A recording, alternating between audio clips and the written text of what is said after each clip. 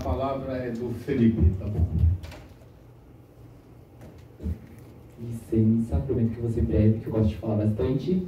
Queria agradecer, principalmente, a gente tem um representante do SENAC aqui, uma unidade de referência aqui em Paranaguá. Já fiz três cursos lá, assistente administrativo, assistente de RH, cabeleireiro. Sou formado pelo SENAC, tenho muito orgulho dessa instituição que é referência na formação de profissionais de qualidade.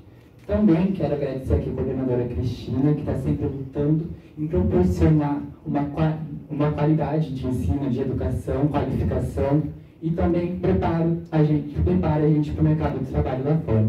A gente é referência na formação técnica, de formação de docentes, recursos humanos, administração, e tudo é graças a profissionais, coordenadores como a professora Cristina, que luta diariamente em trazer uma qualidade cada vez mais. E quando a gente diz qualificação, são profissionais de qualidade.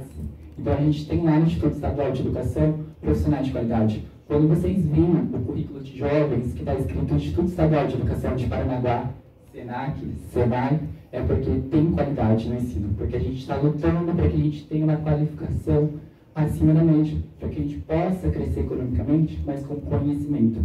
Então, quero agradecer a todos que lutam cada vez mais pela qualificação dos profissionais jovens que estão crescendo cada vez mais no mercado. Hoje eu também estou me formando como técnico em administração pelo Senai, também outro curso gratuito que eu tive a oportunidade de fazer por programas como esses.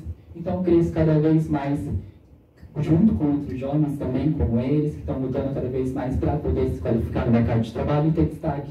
E a gente agradece essas políticas públicas que são levantadas cada vez mais buscando uma profissionalização cada vez de qualidade. Muito obrigado.